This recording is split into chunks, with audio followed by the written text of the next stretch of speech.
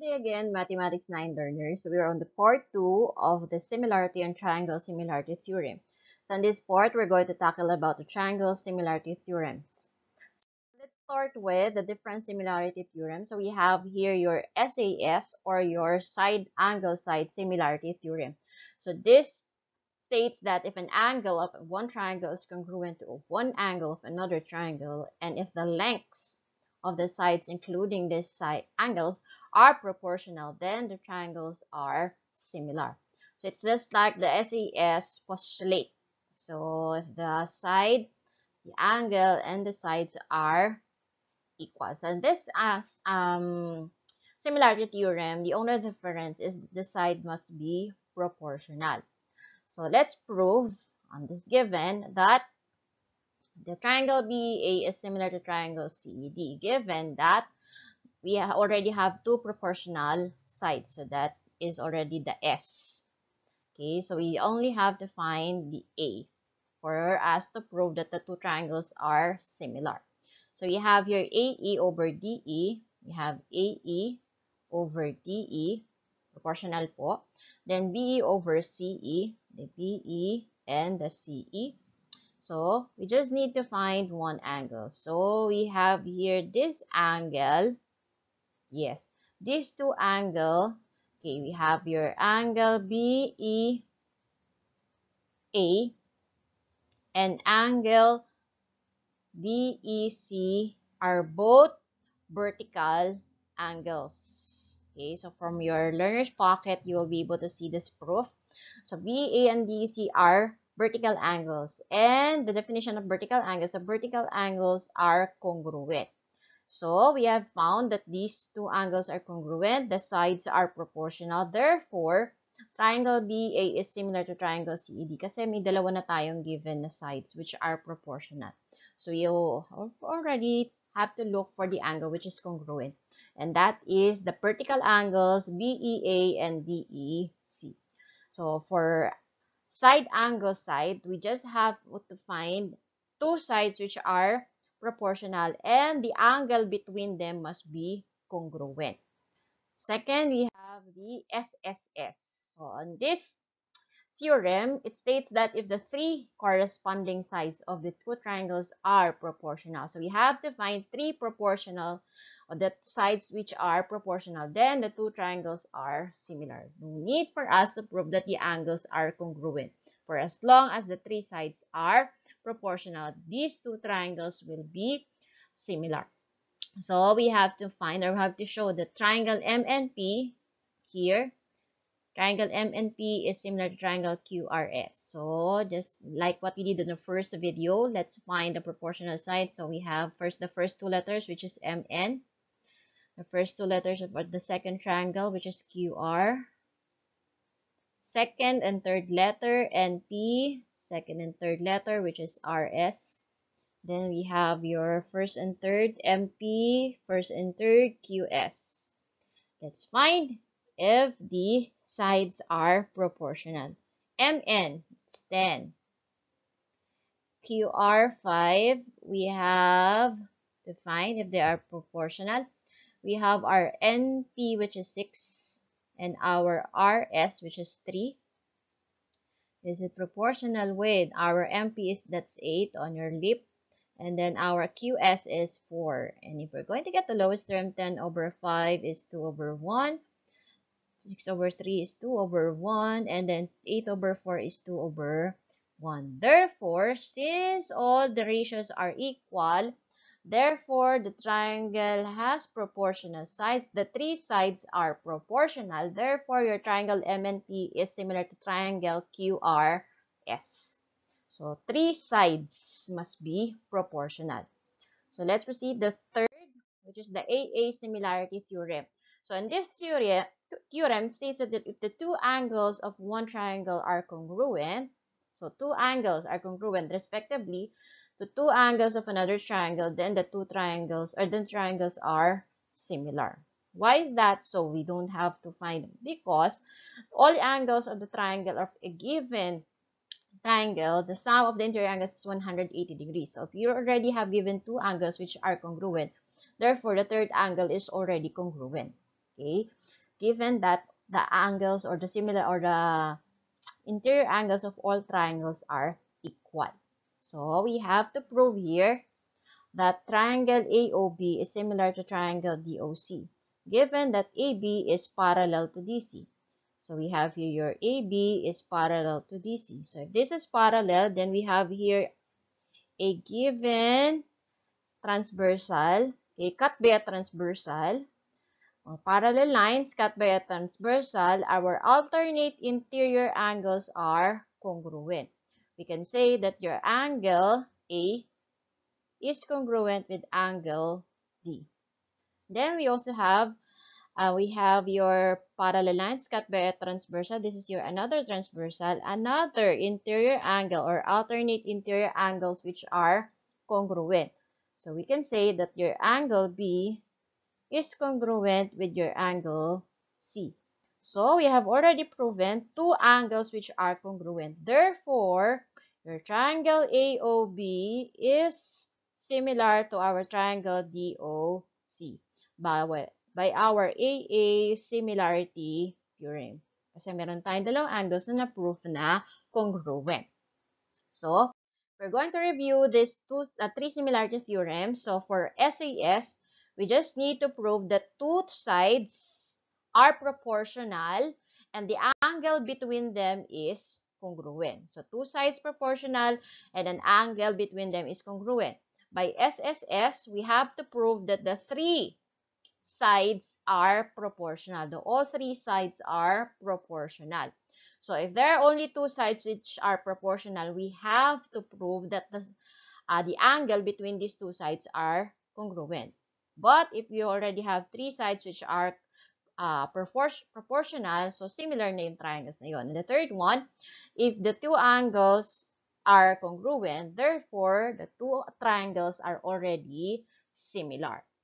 Okay, so if we're going to have that, so you can identify the two triangles are similar depending on the similarity or the congruence of the angles and the proportionality of the sides. So let's proceed with another similarity theorem.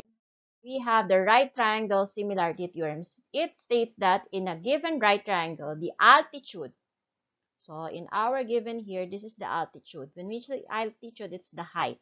So in this triangle, the altitude is CH. Ito yung altitude niya. Given here, it forms a right angle.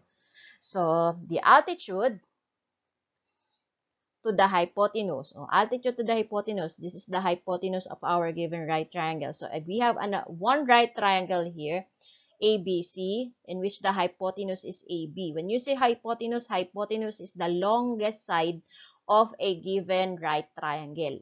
Ulit po, yung hypotenuse, yun yung pinakamahabang side sa given na right triangle. Sa right triangle, nakabuo tayo ng 90 degrees na angle.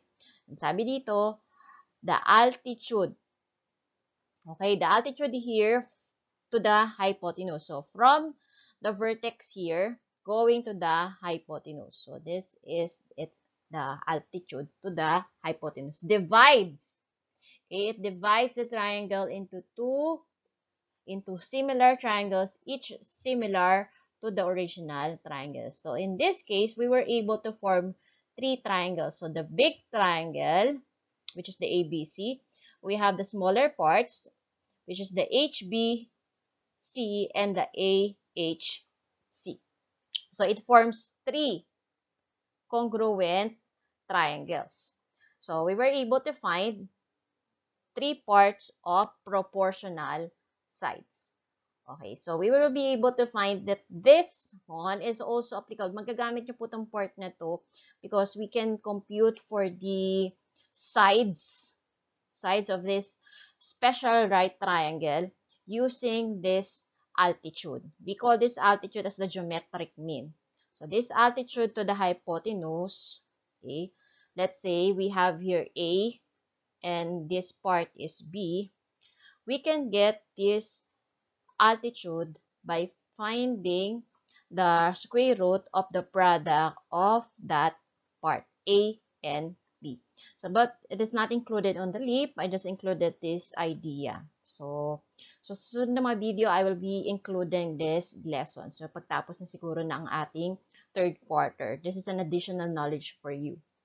So, again, for right triangle simulator theorem, it only uh, states that if you're given with the right triangle and then you're going to draw an altitude from the right angle going to the hypotenuse, it divides, okay? It divides your uh, right triangle into similar triangles. Then, we have another special right triangle. We have your 45, 45 degree angle or 45, 45, 90 and your 30, 60, 90 right triangle. So, for your 45, 45, the length of the hypotenuse of this triangle is square root of 2 times the leg of the leg of each leg in square root of 2 over 2 times the hypotenuse. So, what does this mean?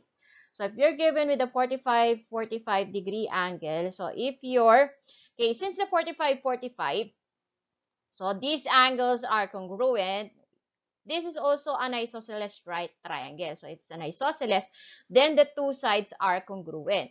So, if this is A, okay, this is also A. And this only uh, this uh, theorem states that if the two, uh, two sides is A, then the hypotenuse is times the square root of 2 of the legs. Okay? So, paano po yun? For example, we're given with, okay, let's draw a right triangle here, which is 45, 45. So, if the side or the leg is 5, then the hypotenuse is 5 square root of 2. Okay? So, pareho yung dalawang sides and then the hypotenuse is times the square root of 2. Let's have more examples. So, we have uh, different kinds of right triangles here, assuming that we have 45, 45 degree angle here. So, again, thinking that I will not already write the 45, 45, that this is a 45, 45 degree angle. So, let's write, so 45, 45. Okay, so if this side is, ah, that's under 5. So let's say this side is 3. So this leg is also 3. And then the hypotenuse is times square root of 2. So that is 3 square root of 2. Okay. Then, another one. What if the given is the hypotenuse? For example, this is 12. Okay. What are how are we going to find the two legs. So, to find the two legs, we're just going to divide it by square root of 2. So, by our knowledge on our radical, so 12 over square root of 2. So, times natin sa square root of 2 para ma-rationalize natin. So, this becomes 12 square root of 2 over 2. Or, simply, just what we have shown uh, uh, a while ago, times lang natin siya sa 12 square root of 2 over 2. So, 12 divided by 2, that is 6 times the square root of 2. So, yung hypotenuse, divide by 2, 10 times the square root of 2. Okay, another one. Let's say this is 7. So, we're going to multiply it by square root of 2 over 2. So, that means that the two legs is 7 square root of 2 over 2. 7 square root of 2 over 2. So again, that is if the given is the hypotenuse. So we're going to multiply it by square root of 2 over 2. So we're going to back, go back to the legs. So again, if the legs is equivalent to 6. So the other leg is also 6. And your hypotenuse is just multiplied to square root of 2. So that is 6 square root of 2. That is for your 45, 45. Let's go to, to 36. So, for your given 30, 60, 90 triangle, so if we're given with A, so let's use a red pen. So, this is A, so your hypotenuse is twice the leg. So, that is 2A. And then the longer leg will be multiplied to square root of 3. So, that's how we're going to find the 30, 60, 90 triangle or right triangle. So let's say, for example, this is 60, this is 30. So let's say this is 5. The hypotenuse is 10. And our longer leg will be 5 square root of 3. Okay, let's have another example. So let's write. So let's say this is 30, ah, 60. Let me erase first that one. Oh, God. So this is 60. This is 30. So 30, 60. This is a right triangle. So 30, 60, 30, 60. Okay. So let's say the given is the hypotenuse. Let's have four different given. So given the hypotenuse, let's say this is um, 8. How are we going to find the shorter leg? So to find the shorter leg, you're just going to divide your hypotenuse by 2. So 8 divided by 2, your shorter leg is 4. Then to find your longer leg, let's multiply it by square root of 3. So that's 4 square root of 3. So that is if the given is your hypotenuse. What if the given is the shorter leg? Again, if the shorter leg is the given, let's say this is 2. Okay, to find our hypotenuse muna, kuhanin natin, times 2 lang. So 2 times 2, your hypotenuse is 4. And then the longer leg, again, multiply by square root of 3. So that is 2 square root of 3. So that's how we're going to find the hypotenuse and the longer leg given the shorter leg. What if the given is our longer leg? So let's say the longer leg measures, let's say 12. Okay, so to find our longer leg or to find our shorter leg, we're going to multiply it by uh, square root of 3 over 3. So 12 times your square root of 3 over 3. So 12 divided by 3 is 4. So that means our shorter leg is 4 square root of 3 because 12 divided by 3. And our hypotenuse, when we multiply it by 2, 4 times 2, that is 8 square root of 3. Okay? Then, sige, let's have another one. Um, let's have another na ang given again ay yung ating um, longer leg. Let's say this is at uh, 10. So to find our shorter leg, multiply it by square root of 3 over 3. so we cannot multiply or divide 10 by 3. So that means that our uh, shorter leg is 10 square root of 3 over 3. And our hypotenuse times 2 nyo lang yung 10. So 10 times 2 so that is 20 square root of 3 over 3. So that's how we're going to find the missing sides of our 30, 60, 90 triangle using the special right angles. Okay? So, given the shorter leg, given the hypotenuse, or given the longer part of the leg. Okay, so that's all for our part 2 of our week 6 or quarter 3 week 6. So we were able to find the different similarity theorems. So you are now ready to answer or to discuss to you the engagement part, assimilation, and the assessment part of our learners packet. So see you on our next video. Thank you and God bless.